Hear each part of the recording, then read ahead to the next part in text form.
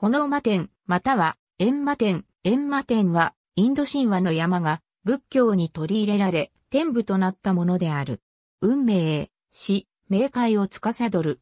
密教においては、各方位を守護する八方天、十二天の一尊となり、皆方炎魔天とも呼ばれる。ここでは主に密教の曼荼羅における炎魔天について述べる。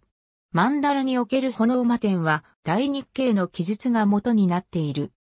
その注釈書である大日経書によると、半月型の風弾の中央に炎魔天が二人の記載、黒暗光と四光と共に描かれ、その周りには七、母天と七、母天眷属のバー、スミカ鳥、カラス、ワシ、キツネが取り囲むとなっている。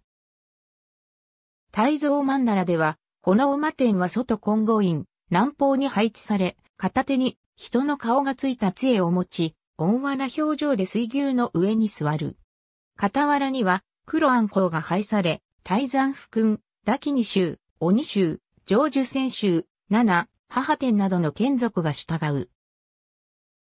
別村曼荼羅である炎馬天曼荼羅は、除病、息災、援助、賛成を祈願する大掛かりな手法の炎馬天友の本尊として用いられる。追善供養のために行われる場合は、特に蔵道友と呼ばれる。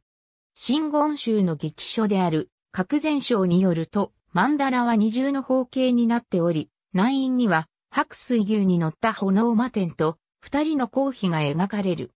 外院には、大山府君、ダキに、シャブンダ、成就戦、コンラヤッカ、後藤大臣、塚祭の地、知録が描かれており、インドと中国の死に関わる神が、炎魔天の眷属とされている。また、天台宗には、第二系とは違う系統の19位曼荼羅と呼ばれる曼荼羅もある。19尊のうち、炎魔天の皇妃以外は女神を拝さず、周囲には、梵天、大釈天、四天皇の他は、すべて同教の神を拝したものである。中国風の漢服を身につけ、憤怒の行走の閻魔大王が、鎌倉時代以降に、彫像、図像ともに数多く作られたのに比べ、炎魔天の作例はそう多くはなく、そのほとんどは、十二天図や曼荼羅の図像としてである。数は曼荼羅ではないが、真言宗系の曼荼羅の炎魔天は、このように、インド風の服を着た姿で、温和な表情をしている場合が多い。ありがとうございます。